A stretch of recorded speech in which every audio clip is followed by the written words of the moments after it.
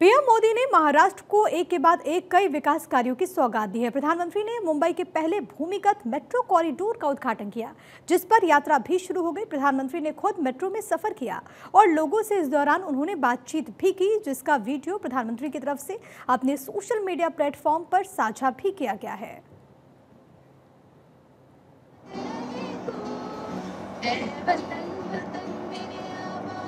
okay.